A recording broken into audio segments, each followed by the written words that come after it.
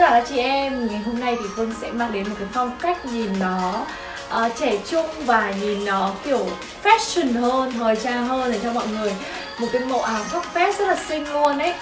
Đó, Phương thì Phương khá là ít review về những cái khóc vest trong thời gian gần đây bởi vì là uh, mọi người thì bắt đầu là cũng ờ, đang ờ, mua dục dịch mua áo phao nhiều vì thời tiết lạnh rồi.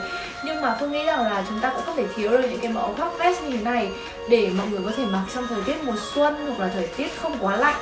Đó thì mẫu vest này thì mọi người thấy là màu của nó là màu be màu nâu be nhìn rất là tây. Và cái phần ve này thì được phối vải kiểu dạng như vải lụa hơn. Đây vải khác như vải nhà nhá đó và mẫu vest này thì nó có hai cái hàng cúc ở đây Phương cực kỳ thích luôn. Đó nhìn sang nhìn nó giống như cái áo măng tô vậy đó. Cực kỳ xinh luôn. Và áo này thì mọi người có thể đóng khuy nhá. Ví dụ đóng khuy nó sẽ như thế này. Này đó rất là đẹp luôn ấy. Áo này mình không thấy là kể cả đóng khuy hay là thả ra thì cũng đều đẹp cả. Ừ, nếu mà đóng khuy vào thì nó sẽ thành một cái áo váy luôn. Rất là đẹp.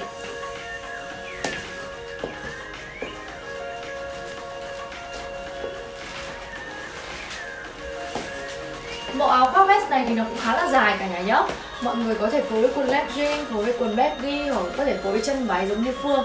Đó, ví dụ như là mọi người có thể học theo cách mix của Phương là phối với áo hai dây và một cái chân váy xếp đi ở phía bên dưới cộng với một đôi bốt này.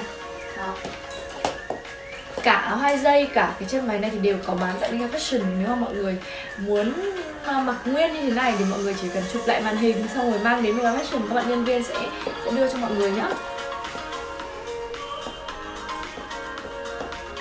Tay cũng phối cúc một hàng luôn, rất là đẹp.